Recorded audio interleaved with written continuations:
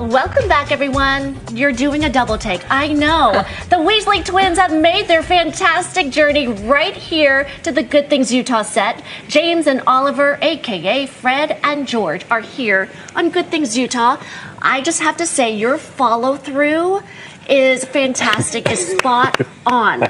Two months ago, I said, You are coming on this set Yep. before you go to FanX, and lo and behold. How did you make it happen? You Magic. manifested this. Intimidation. That's how I did. I said, yeah. I need a yes. You did. You did, you did, and we You were promised. so we firm did, about yeah. it. Yeah. This was back in July. We were talking about Fantastic Friends airing on the CW, Yeah. our sister station.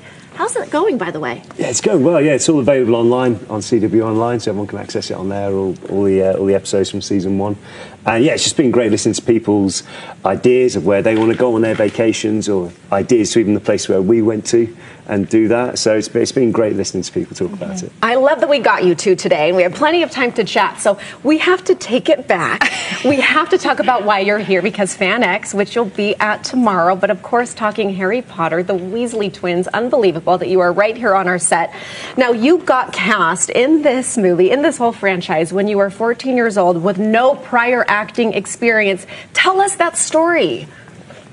You just did. They were 14 years old with no prior. It was an open audition, and they were cast after what? Six different auditions? That's right, Something yeah, like yeah. that, See, yeah. we can tell the Yeah, story. What was that it was- process like? Was that something you wanted? Did you want fame? Did you want to learn the business? What was what was it at that time? I think at that age, you're not aware of what you, you, you know. In person, what do you want to be when you grow up? Like I, was, I literally had no idea.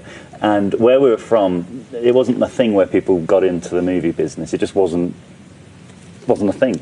Um, but we, we heard there were open auditions, so we went for the first audition, and then yeah, like you said, there was like five other auditions after that, and eventually we got we got cast. And it just one of those things where it just kept going and, and kept going, and we we, we did training um, individually as well along the way. So not just learning on the job, but actually learning the craft as well. And you had no idea that that would change the trajectory, or I think we. I suppose, like naively, you assume that every film is a huge budget. Everyone in the world's going to see it, and luckily, what we were in was. Um, But it kind of just got it did get bigger and bigger. And I remember we were here. We actually came to this studio in 2003. Four. Four, four. So there was James, myself, uh, Matt Lewis, who played Neville, and Devon Murray, who played um, Seamus, and we were doing some promotional stuff for it then. And that was, I remember the first time being abroad and doing some promotional work for it, and thinking, this is crazy. Just being discovered. yeah, pretty much. Yeah, yeah. and now it's like it. old hat now. It's good. I mean, it's it's got its benefits sometimes. You know, you get to uh, you get to have some fun with different places you go to, um, like our TV show. What's on here now? Okay, Fantastic Um, yeah. Friends, you go all over the place. What do you prefer? And I asked you this. Do you like the movie business or do you like reality TV where you're making fun of each other in a swimsuit? It's a bad view, that, isn't it? Oh, I mean, great view. Great view. Um, no, I'd say I'd say both. I mean, TV in terms of going to the locations was really, really great, and having the freedom to do what you want to do with it is cool. But also being on a film set is still special, isn't it? Yeah, there are two different ways of doing it. I think both. Are, I guess it's like you guys as well. When you're when you're working in front of the camera, you're you're fully focused on that. So when we're doing uh, the Fantastic Friends episodes, they're like 18-hour days filming, and when you're film when you're doing uh, acting, it could be a 12-hour day. But you've normally got to learn a lot of lines for that, so you're you're mentally knackered after both Yeah. You're both spent. things. Yeah, they're different different spent. things, but but we still were able to be able to have fun doing both. I. And we kind of play up to the cameras when we're doing the Fantastic Friends. That's what I thing as wanted well. to ask you because you're either playing a character or you are yourself, but it's always like a heightened version of yourself, isn't it? It's always slightly more exaggerated. I feel like that's kind of yourself. what this job is as well. We have some kids who came to meet you today, and That are I- so if I don't ask a question from them, they'll be very upset. Okay. So we have to ask what your favorite of the Harry Potter movies. What was your very favorite one to film? to film. Um, probably the fourth one, Goblet of Fire.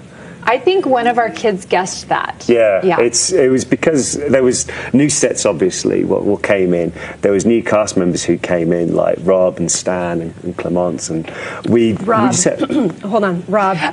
This I'd is say, where yeah, yeah. Dina wants to pause a long pause on this for a minute. Just wanna yes, she's take having in. a moment. I just want to take it So we, and I think because we'd all just, you know, we just turned 18, so in the UK you can start going to like nightclubs easier and stuff like that at that age.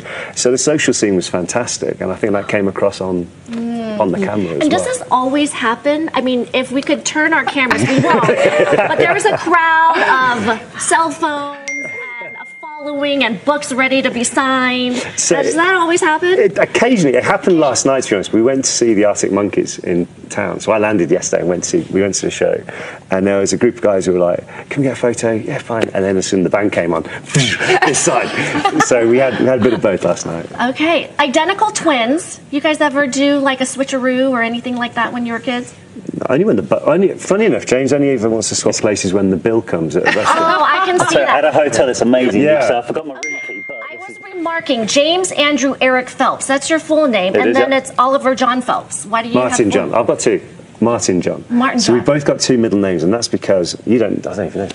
My mum never had a middle name, and Same. she and that's why she made up for it. I- she said. You didn't Making even up know for that. it. Yeah. yeah, and that's why. And I'm I a bad son for not yeah, knowing that. and she said she said, said she was going to make up for it. Yeah, ah, yeah. So she Are- squeezed all the names in there. that's it. Yeah. Okay, in our final moments, are you guys up for a little rapid fire random questions? Like Sure, as yeah. quick Ready? as you. Okay, yeah. Okay, Yeah. ready? Favorite treat? Willow. Treat. Oh, I thought it was a tree. Sitting, Sitting under a willow. You hate willows? That would be interesting. That was the Chewing on a greatest stick, answer of all times. He's got really good digestion. Yeah. Yeah, I tell you what. Favorite treat? Um, uh, Skittles. Oh, Good okay. choice. Sherbet, Okay, favorite holiday, Christmas, Spirit animal. Dog. favorite body part.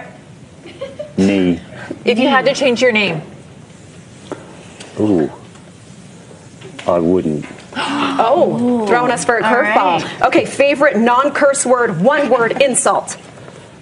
Just got curse words in my head now. Um, I you know you, you, know, num- you can't say. The way to my heart is fill in the blank. talking about hedgehogs. Okay, hedgehogs. Is your bed made right now at home? Yes. yes. How do you say hello on the phone? All right. All right, all right, all right, right, all all right. right. We're out of time. The